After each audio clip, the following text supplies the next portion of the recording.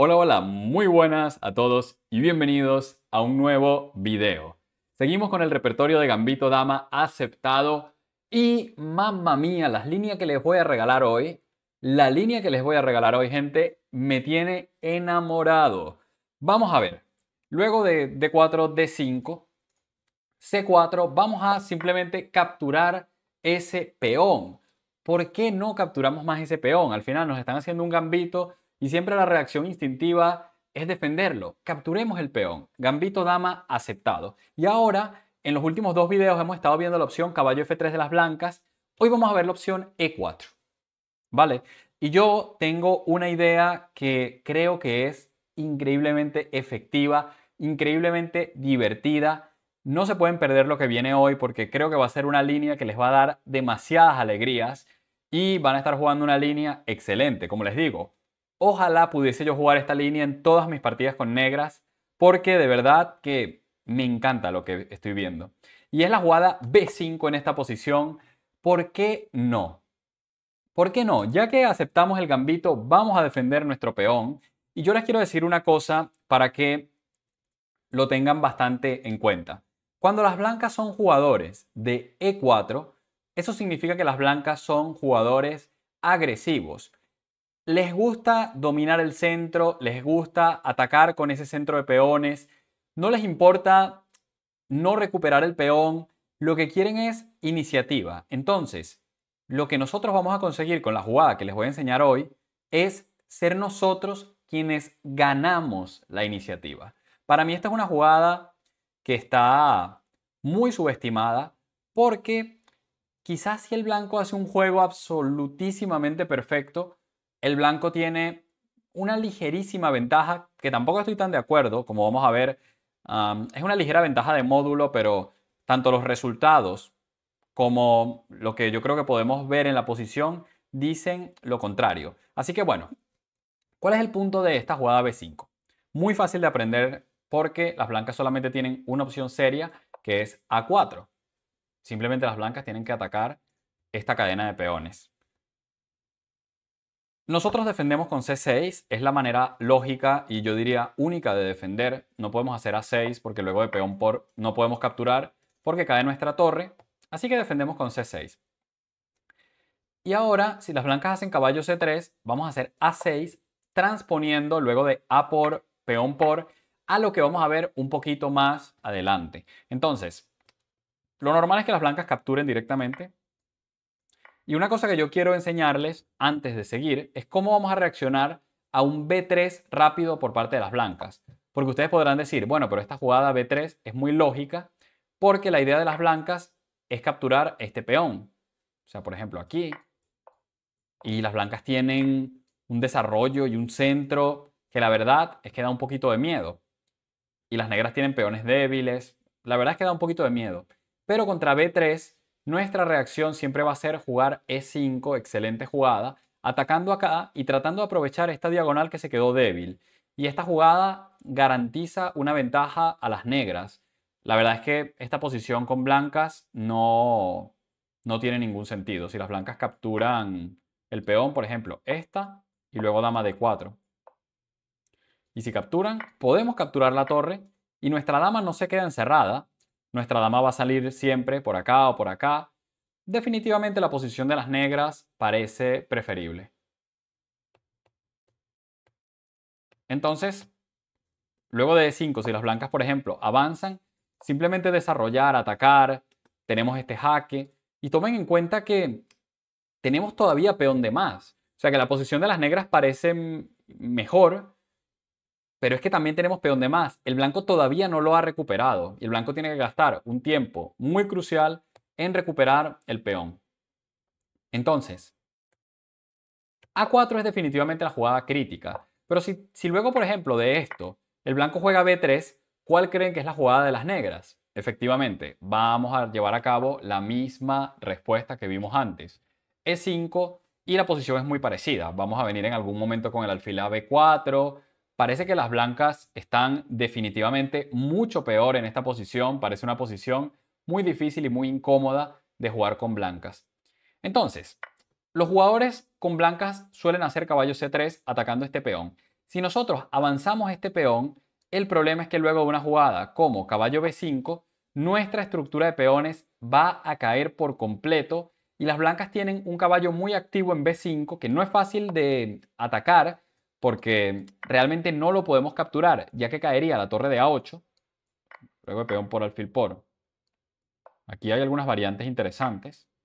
Parece que las negras tienen dos piezas por, por torre, pero alfil F4 y el caballo de B8 cae y posiblemente también la dama. O sea que por favor vamos a recordar no hacer la jugada B4, es una jugada muy mala.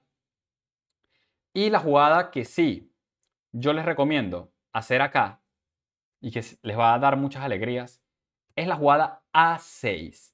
Y ustedes podrán decir, Gascón se ha vuelto loco, porque luego de caballo por B5, ¿cuál es el punto de A6?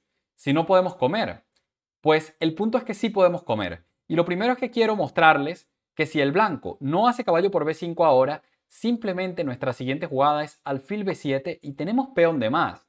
Es que no sé qué más decirles de esta posición.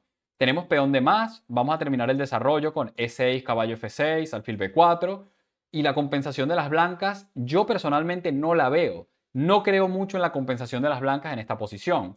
Y eso aplica a muchas variantes, por ejemplo, imagínense acá, el blanco no captura, alfil b7. En este caso me parece que el blanco tiene un poco más de compensación que en la otra variante porque el alfil de b7 está cerrado. Pero en cualquier momento este peón lo avanzamos y el alfil de nuevo vuelve a abrirse, vuelve a activarse. O sea que tampoco creo al 100% en la compensación de las blancas. Vamos a entrar en lo crítico, porque la realidad es que el blanco en una gran cantidad de partidas va a jugar esto y va a capturar el peón. En todas las partidas de maestros, el blanco captura el peón. Y en partidas de aficionados, en 87% el blanco captura el peón. O sea que la jugada que nos vamos a enfrentar va a ser caballo por B5. Esta va a ser la jugada que nos van a hacer.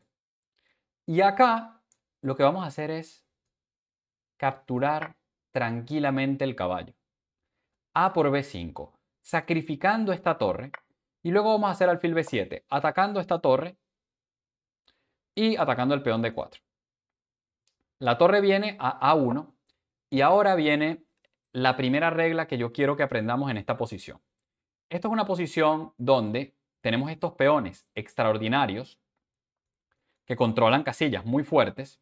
Tenemos este alfil maravilloso atacando el peón d 4 y las blancas tienen un desarrollo incómodo. Por ejemplo, estas piezas no son fáciles de desarrollar porque con mucha frecuencia el blanco va a tener que hacer la jugada F3 para defender el peón D4.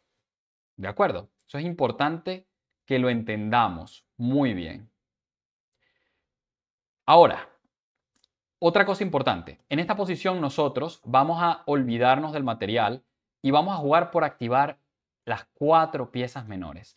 Ese es un poco el secreto para jugar bien esta posición.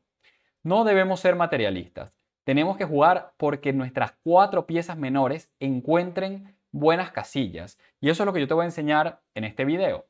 Entonces, la primera jugada que vamos a hacer es E6, desarrollando. Fíjense que acá tenemos una opción de capturar. El problema es que si capturamos, estamos subdesarrollados. Y las blancas pueden hacer, por ejemplo, F3. Imaginemos que el alfil vuelve. Y luego B3. Y estos peones están cayendo. Esos peones son gran parte de la posición negra. ¿De acuerdo? Así que recuerda, si perdemos el peón de C4, la posición empeora muchísimo, muchísimo, porque este peón nos da casillas y limita ese alfil. Entonces el peón de C4 es un peón importantísimo en la posición. El peón más importante del tablero es el peón de C4, ahora mismo. Entonces si nosotros hacemos esta jugada y luego el blanco nos puede hacer esta jugada, es verdad que capturamos el peón D4 de las blancas, que también es importante, pero no vale la pena. Nuestro peón de C4 vale mucho más. ¿Ok? Así que es una jugada superior E6, simplemente preparando el desarrollo del alfil y si ahora las blancas hacen B3, alfil B4 jaque, este es el recurso que queremos tener, y luego C3 y el alfil cuando se mueva C2, básicamente ganando la dama, porque estamos dando un jaque a la descubierta con el alfil y el peón de C2 ataca a la dama de D1. Entonces, queremos tener disponible ese jaque en B4 Y ahora las blancas van a jugar F3. Aquí quiero analizar dos jugadas principales. F3 defendiendo el peón y luego la jugada más agresiva, caballo E2, sacrificando el peón a cambio de terminar el desarrollo. Vale, vamos a empezar con caballo E2, que a pesar de que es la jugada más agresiva, es la jugada más fácil de enfrentar porque ahora sí que vamos a recuperar el peón alfil por E4, ya que el blanco no cuenta con la jugada B3. La jugada B3 no tiene la misma efectividad que tenía antes. Entonces, acá caballo C3, atacando y atacando, y parece que las blancas van a quizás tener un B3, pero aquí tenemos la jugada alfil B4, clavando el caballo, evitando B3, y ahora protegemos nuestro alfil indirectamente. En esta posición yo decidí considerar principalmente dos jugadas para, para que bueno, estén preparados contra diferentes opciones del blanco. Una de ellas, alfil de 2, desclavando el caballo. Acá hay dos maneras de jugar. Para mí una es muy fácil y para mí la otra es relativamente difícil, pero a los que son muy estudiosos de la teoría les puede interesar. Dama por D4 es la jugada para estudiosos. Aquí después de caballo por E4 y dama por E4 jaque, alfil E2, alfil por D2, dama por D2, dama por G2. Y en esta posición, torre F1, si las blancas se enrocan largo... Ah, no, perdón, las blancas... Ya va, ¿las blancas aquí se pueden enrocar o no? Las blancas no han movido el rey todavía. Ah, no, pero ya movieron la torre, claro. Ya movieron la torre de, de A1. Entonces, en esta posición las blancas no se pueden no se pueden enrocar largo. Así que eso es importante tomarlo en cuenta. torre F1. El, el negro tiene, por ejemplo, caballo E7, dama B7 defendiendo los caballos, caballo C6, alfil por, caballo por, para que el negro no se enroque. Torre G1, G6, torre G5 y ahora caballo E7. Y el negro se va a enrocar en la próxima jugada o, dentro de dos jugadas, por ejemplo, torre por B5. La idea es que si dama por torre A8 jaque y es básicamente mate, o sea, esto hay que tener cuidado. Luego de torre por B5, tenemos que meter dama e4 jaque y, y luego rey f1 simplemente enroque. Y la cuestión es que el caballo de e7 es intocable porque si lo captura, nosotros capturamos la torre de a1. Entonces el caballo de 7 no lo puede capturar, tiene que hacer torre 1 y en esta posición podemos hacer varias jugadas. Podemos hacer dama h4 protegiendo el caballo. Y para mí, esto es una posición que vamos a jugar a ganar con negras. Mucho cuidado. Podemos activar el caballo y su rey está bastante desprotegido, el peón de h2 también. Podemos jugar a ganar con negras aquí. Tenemos caballo y dos peones contra torre. Hay un equilibrio material, ninguno de los dos tiene ventaja material, pero me gusta que el rey de las blancas está bastante débil. y al blanco le quedan poquitos peones, le quedan solamente tres peones y están débiles los tres. Con lo cual yo me siento satisfecho con las perspectivas de las negras aquí.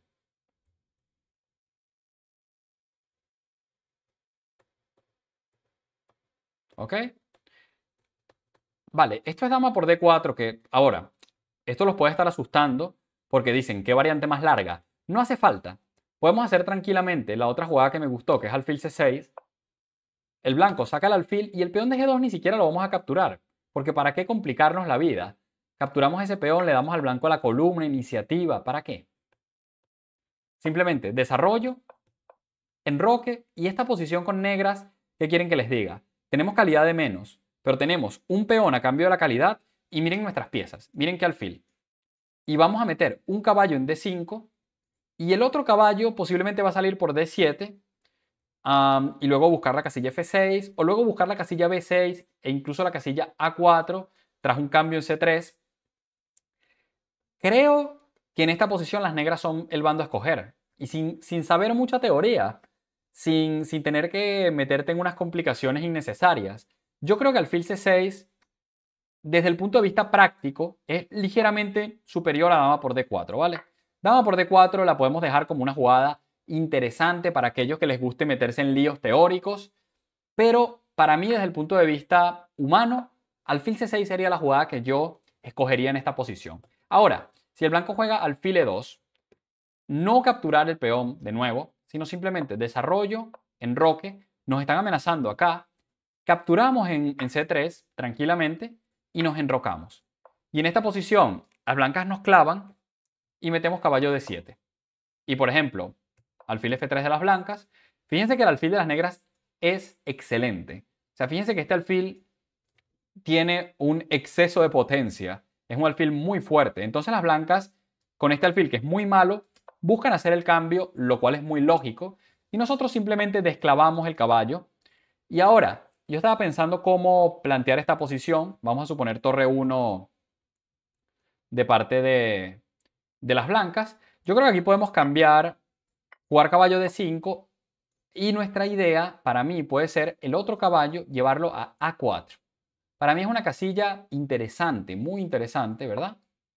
Entonces hay que tener un poquito de cuidado de no perder, no perder este peón.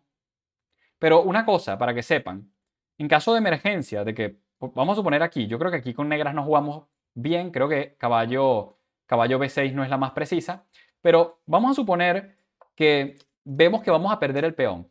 Siempre entregarlo. Por ejemplo, miren esta posición. Entregamos el peón. Le metemos el peón ahí. Lo defendemos y luego podemos entrar con la dama. Este caballo en algún momento puede ir a C4. Estos dos peones son débiles. No parece una posición que las negras deban perder. Tampoco. Parece una posición dinámica con contrajuego y con unos caballos extraordinarios. Peones débiles del blanco. Tenemos un peón pasado que lo podemos meter hasta séptima muchas veces. parece una opción interesante para tenerla como recurso, o sea, la jugada B4. Ahora, por supuesto que yo prefiero no, no perder el peón, ¿de acuerdo? O sea, poder quizás proteger el peón. Un torre B8 y cosas por el estilo. Y realmente la posición me parece muy saludable. Muy, muy, muy saludable para las negras nuestro plan a futuro, como les digo, puede ser intentar meter el caballo en A4 y a mí me gusta mucho la posición de las negras. Es muy correcta. Con blancas también se puede jugar. Ahora, la jugada F3 parece una jugada que entra en complicaciones más salvajes. Aunque caballo de 2 parece una jugada más agresiva, el hecho de que nos devuelva el peón de E4 tan fácil hace que las negras no tengan que meterse en líos.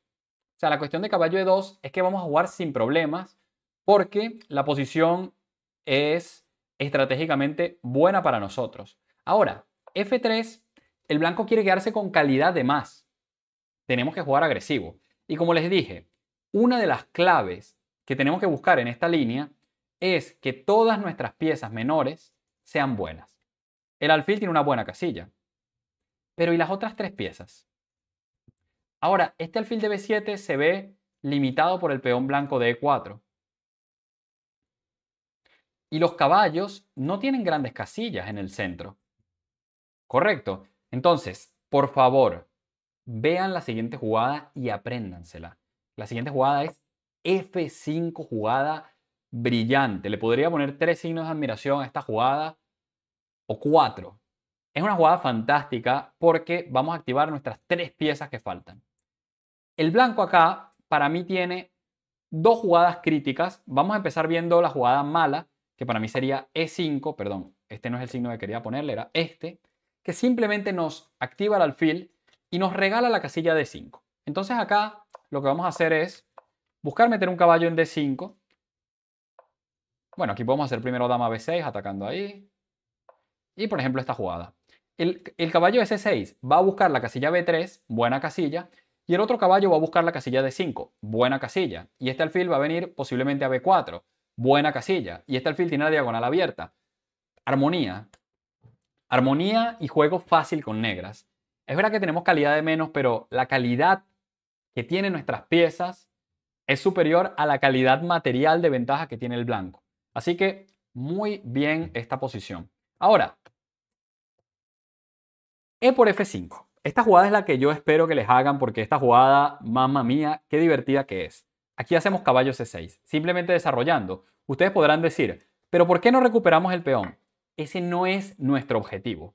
Nuestro objetivo no es el material. Nuestro objetivo es que este alfil, que este caballo y que este caballo se activen y ya, cuando el blanco hace esta jugada, lo logramos. No tenemos que recuperar aquí.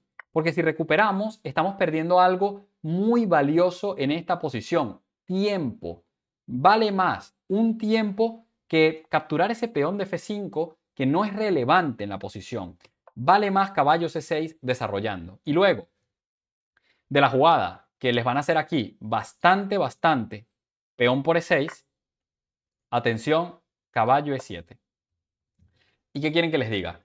Estoy absolutamente enamorado de esta posición con negras, porque acá el, negro va, este caballo por cierto también puede venir a F5, no solo a D5, sino a F5.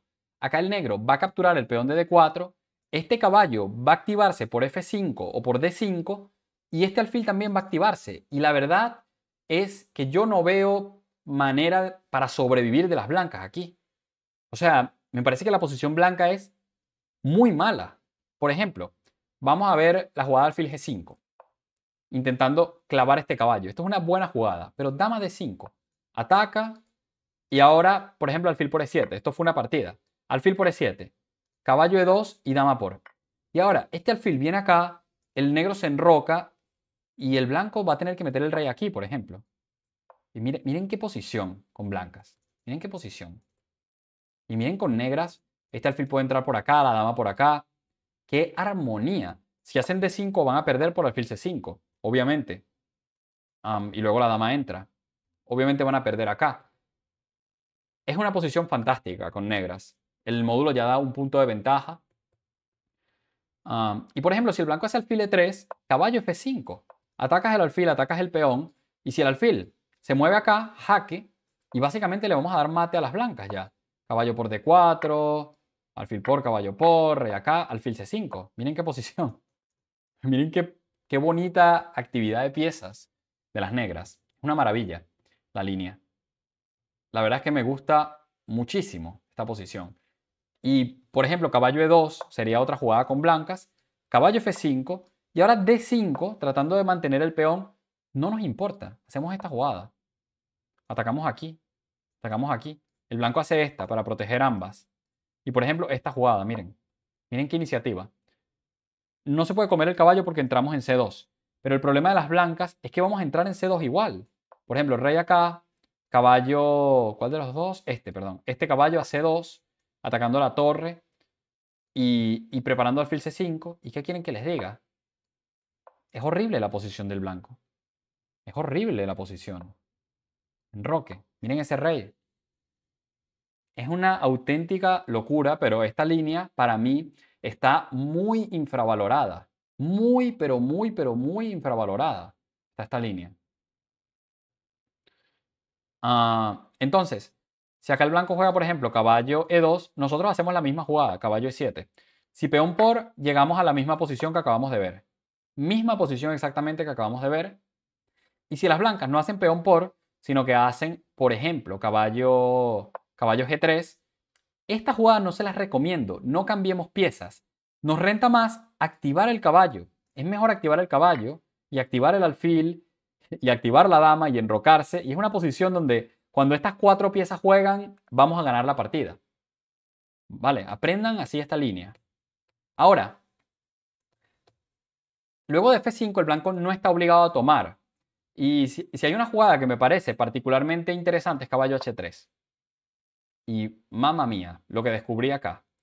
Caballo F6 para mí es una novedad fantástica en esta posición. Esta jugada no se ha hecho. ¿Por qué esta jugada no se ha hecho? Porque luego de caballo G5, por cierto, si las, si las blancas capturan, ya sabemos qué hacer. No capturar, sino sacar, sacar. Y las negras están muy bien, realmente muy, muy bien. También podemos hacer caballo por.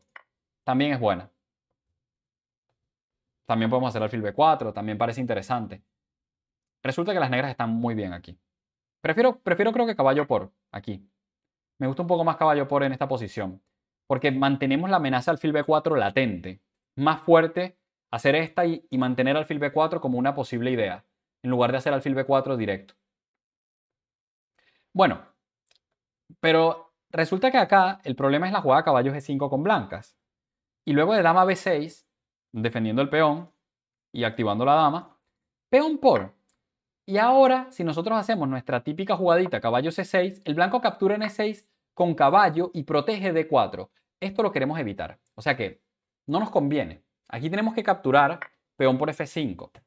Realmente no, no veo ninguna mejor opción porque el blanco está amenazando entrar en E6 con caballo. Eso sí que lo queremos evitar. Pero si nosotros capturamos peón por, este caballo parece una pieza bastante mala. Correcto. Así que el blanco, para intentar justificar ese caballo, tiene que hacer dama E2 para que el caballo venga acá. Nosotros hacemos rey D7 para evitar eso. Y ahora el blanco tiene caballo F7, buscando reubicar su caballo y llevarlo a E5. Mucha, pero mucha atención con lo que se viene acá. En esta posición tenemos la loquísima jugada caballo C6. En lugar de defender la torre pasiva, lo que hacemos es evitar este jaque y desarrollar el caballo. Si ahora el blanco da jaque, capturamos y luego metemos el caballo en D5 y lo que les digo, siempre y cuando las negras activen estas piezas, ya les digo yo que lo que le espera al blanco es sufrimiento. Todas las piezas activas. Este rey lo podemos meter hasta en E6, si queremos. El blanco está, para mí, perdido, desde el punto de vista práctico y humano. Ahora,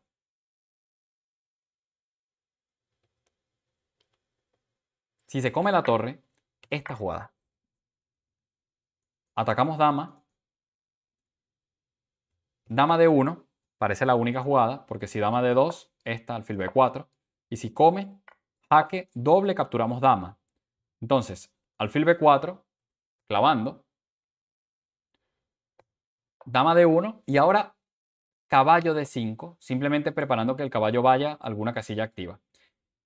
Y por ejemplo, aquí decidí colocar una variante de ejemplo para, para ilustrar lo mala que es la posición del blanco en la práctica. Muy mala.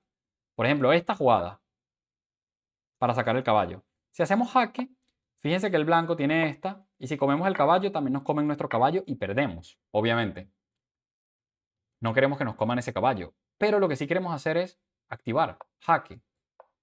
Jaque y por ejemplo, luego alfil 2 esta jugada el blanco pierde la dama. Si mueves la dama, por ejemplo esta, esta y mate. Entonces el blanco pierde la dama. Y obviamente pierde la dama y seguimos con ataque. Sea que esta posición es increíble. Pero el negro está amenazando jaque, dama y 6 y, y meter el caballo en E3 y ganar por ataque. ¿Y qué quieren que les diga? La posición es simplemente increíble y parece que el blanco está muy mal humanamente. El módulo propone, por ejemplo, esta jugada, que a mí me parece de las jugadas razonables que un humano podría encontrar, pero igual dice que las negras están básicamente mejor tras rey c8, desclavándose. Y ahora dice que hay que hacer esta, imagínense, qué raro jugar con blancas aquí. Y luego alfil b4, esta, y por ejemplo esta jugada. Y fíjense, esta posición, por ejemplo, para que no se pueda enrocar. ¿Quién no le gustaría jugar esta posición? El blanco no, puede mover la dama, no se puede enrocar, tiene una torre en C3, tiene un caballo en H8. El blanco tiene mucha ventaja material, pero parece divertidísimo jugar esto. Entonces, para mí, esta idea de meter caballo F6 aquí y luego meter, perdón, esta y luego esta, me parece divertidísimo y me parece brillante. O sea, yo creo que con esto van a poder jugar unas partidas a lo Mijail tal, sacrificando de todo. Y miren qué posición. Tenemos torre. Ya va, déjenme contar el material. Tenemos dos torres a cambio de un caballo. O sea, nuestro rival tiene dos torres y nosotros tenemos un caballo. Pero realmente yo creo que mm, si deciden jugar esta variante, el, genio Mijail Tal estaría muy orgulloso de ustedes y, y yo creo que se van a divertir mucho con esta línea y van a tener grandes resultados. Entonces, si tú quieres completar este repertorio que te mostré hoy y ser capaz de jugar el gambito dama aceptado a un grandísimo nivel, te dejo por acá videos relacionados para que puedas seguir viendo más sobre esta apertura. Te recuerdo también que si te suscribes a mi canal, te lo agradezco un montón, te agradezco mucho el apoyo. Si dejas tu me gusta y si también dejas en los comentarios qué tal te ha parecido el video. Entonces, espero que lo hayas disfrutado mucho y nos vemos en una próxima, ¿vale? キャイト